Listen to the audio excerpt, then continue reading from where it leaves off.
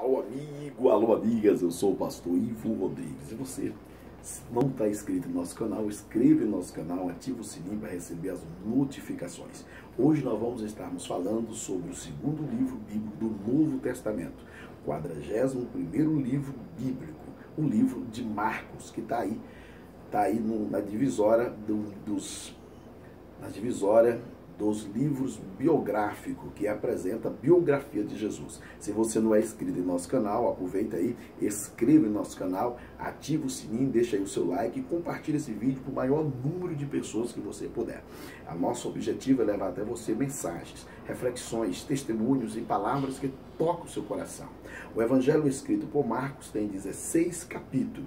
É o segundo livro do Novo Testamento, o 41º livro bíblico ele tem 16 capítulos, tem 678 versículos, 678 versículos.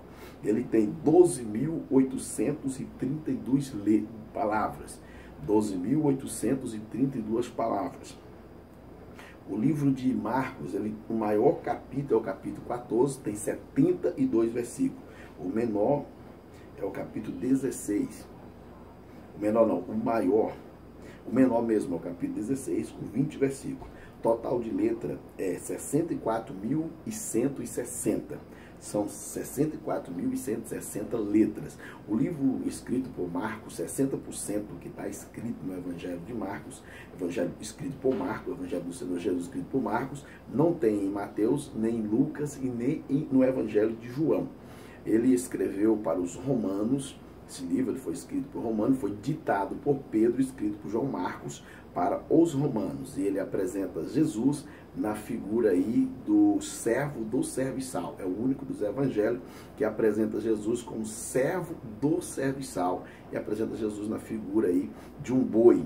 Por que na figura de um boi? Porque o boi ara a terra, trabalha, morre dando a sua própria carne para nos sustentar. Assim foi Jesus trabalhou, mostrou seu trabalho, seu talento, suas visões, ensinou o povo e ainda morreu na cruz, dando a sua própria carne para salvar a raça humana. O evangelho escrito por Marcos tem narrativas muito profundas. É um evangelho bem resumido, mas com uma profundidade muito grande, porque quando foi escrito já foi direto aos assuntos.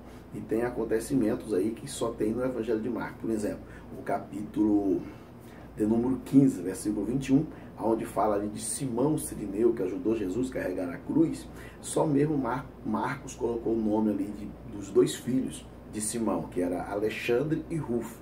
Depois a gente vê esses dois nomes aparecendo no, Evangelho, aparecendo no livro de Atos dos Apóstolos. O livro de Marcos é um livro que precisa você ler, reler e meditar muitas vezes. É um livro muito bom que narra os acontecimentos profundos, aonde ali narra também fatos que emociona a nossa vida.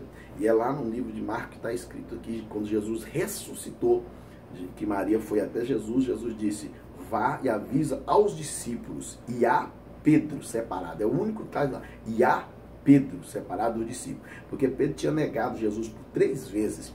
E Jesus falou separadamente para que Pedro reconhecesse que Jesus o amava e que ele não estava excluído do grupo dele de ser discípulo dele. Jesus não exclui nós do seu chamado, da sua obra. Às vezes nós mesmos nos, nos excluímos, nos afastando das coisas, nos esfriando e julgando um ao outro e vendo erros em todos os lugares. Mas Jesus, ele não tem erro, morreu de braços abertos para nos abraçar. E ele quer te abraçar. Um grande abraço e vamos ao próximo livro, que é o livro de Lucas. Compartilhe esse vídeo.